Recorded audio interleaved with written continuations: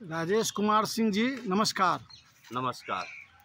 आप समस्तीपुर से अयोध्या तक राम मंदिर निर्माण के बाद में पदयात्रा करके वहाँ जाके भगवान का दर्शन किए हैं।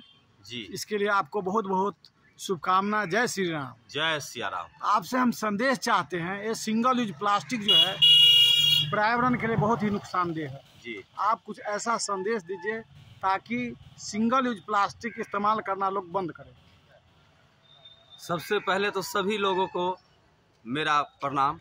जय सिया राम भैया देखिए मानव के लिए और सभी के लिए जो भी पृथ्वी पर सबको के लिए जो है ये प्लास्टिक सिंगल यूज़ प्लास्टिक जो है नुकसान है।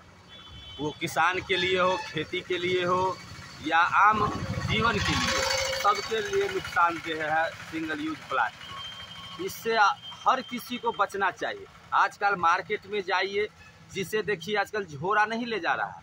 वो सिर्फ़ जाएगा, सब्ज़ी भी लेना होगा तो सब्ज़ी वाले को कहेंगे, जो मुझे सब्ज़ी दे दीजिए। तो वो क्या करते हैं? सिंगल यूज़ प्लास्टिक जो है, उसमें सब्ज़ी दे देते हैं। तो आदमी आजकल जो है, सो झोरा घर से ले जाना या बैग ले जाना भूल चुके हैं। वो आधारित तो हो गए हैं मार्केट में प्लास्टिक के ऊपर सिंगल यूज़ प्लास्टिक के ऊपर और हर कोई उसे यूज़ कर रहा है घर तक ले जा रहा है और उसको कचरा के रूप में हम लोग फेंक दे रहे हैं जो कि खेती के लिए भी नुकसान है। खेत में जाएगा वो गलेगा नहीं इसलिए खेत के लिए भी नुकसान है और हम लोग के लिए तो नुकसान है ही।